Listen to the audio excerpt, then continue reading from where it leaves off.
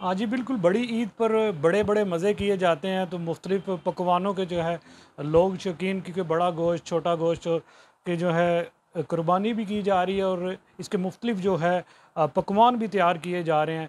लोग बड़ी जो है ना, शौक़ से पकवानों को खा रहे हैं, लेकिन उसके खाने के बाद जो है कुछ की तबीयत भी ख़राब हो हो रही है। तो हमारे साथ इस वक्त कहोटा के बड़े मशहूर डॉक्टर डॉक्टर आरफ साहब मौजूद है।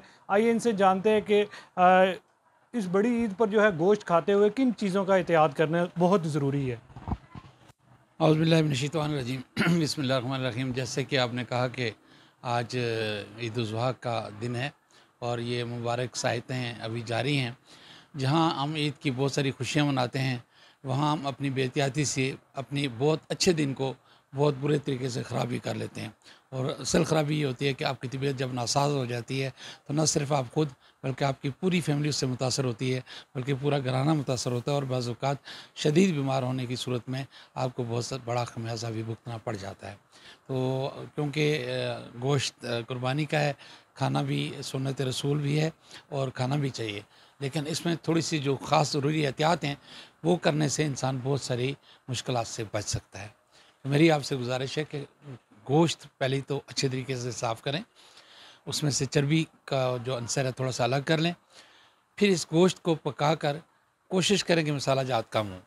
मैं सबसे गुजारिश करूँगा कि बेहतरीन गोश्त हुआ है जो भुना हुआ हो। जो आ, जो आप गोश्त तरा हुआ तला हुआ जो गोश्त होता है वो इंतहाई ख़तरनाक होता है और आपकी सेहत को बुरी तरीके से मुतासर कर सकता है। इसलिए आप सबसे गुजारिश है कि तले हुए गोश्त इज्तनाब करें, उबला हुआ गोश्त इस्तेमाल करें या सालन बना लें। और अगर उसमें मसाला जात जितने भी कम डालेंगे, उसमें नुकसान की कमी उतनी ज़्यादा होगी।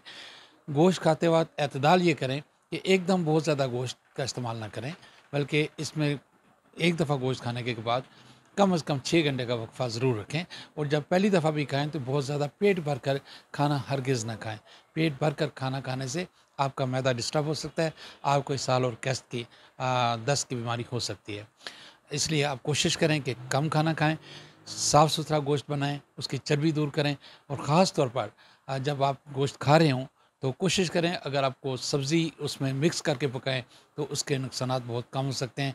लेकिन अगर आपने उसमें सब्ज़ी नहीं डाली तो फिर सादा सलाद जो है जो जिसको हम सब्ज़ी का सलाद कहते हैं जिसमें खीरे वगैरह होते हैं नींबू होता है टमाटर होते हैं ये सलाद आप ज़रूर इस्तेमाल करें। तर, तरह होती हैं।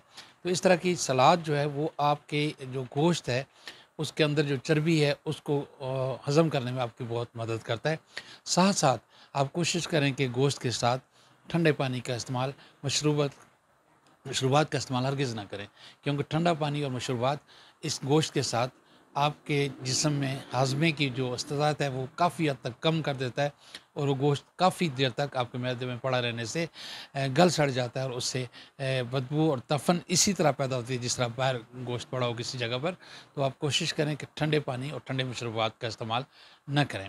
गोश्त खाने के बाद अगर आप सलाद के साथ साथ दही और नींबू की शिकंजी बना लें या फिर ग्रीन टी का इस्तेमाल कर सकते हैं तो फिर बहुत अच्छी बात है कि आपको यह जोत हज़म चीज़ें आपके गोश्त की चर्बी को गला सकती हैं, आपके मैदे को बहुत तोाना बना सकती हैं और आपका खाया हुआ गोश्त आसानी से हज़म हो सकता है।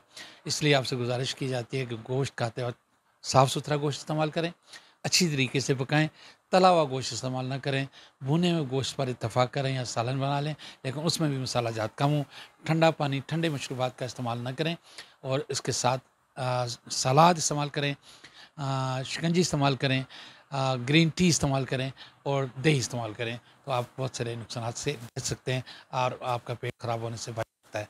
मुझे उम्मीद है आप अपनी सेहत का ख्याल रखते हुए दूसरों को अपनी फैमिली की सेहत का भी ख्याल रखेंगे, दूसरों तक भी ये मेरा मेरा मैसेज कन्वे करेंगे और इससे बहुत सारी तकलीफ़ात से आप बच सकते हैं। मुझे उम्मीद है कि आप ये छोटी सी टिप याद रखेंगे और ये छोटी सी टिप आपकी को किसी बहुत बड़ी परेशानी से बचा सकती है।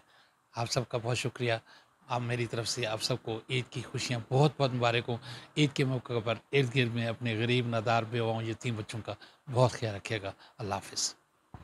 हाँ जी, बिल्कुल गोश्त खाते हुए डॉक्टर साहब ने जिस तरह बताया, ये एहतियाती तदाबीर अगर आप इस्तेमाल करेंगे तो इससे जो है आपकी सेहत जो है वो जो है तंदुरुस्त रहेगी। गोश्त खाएँ, सुनते इब्राहिमी की अदायगी के साथ साथ गोश्त खाना भी जो है वो इबादत है और नेकी में भी आता है। और इसका ख़ास ख्याल रखते हुए जिस तरह डॉक्टर साहब ने कहा, दही सलाद और जो है जो शिकंजवी है, उसका जो है इस्तेमाल करें। इन चीज़ों का आप इस्तेमाल करते हुए अपनी सेहत का जो है भरपूर जो है ख्याल रख सकते हैं। तो इन चीज़ों का ख्याल रखते हुए आप गोश्त का इस्तेमाल करें। आज के प्रोग्राम के लिए इतना ही। इन आपसे नेक्स्ट प्रोग्राम में मुलाकात होगी। तब तक के लिए मुझे और मेरी टीम को दीजिए इजाज़त अल्लाह हाफिज़।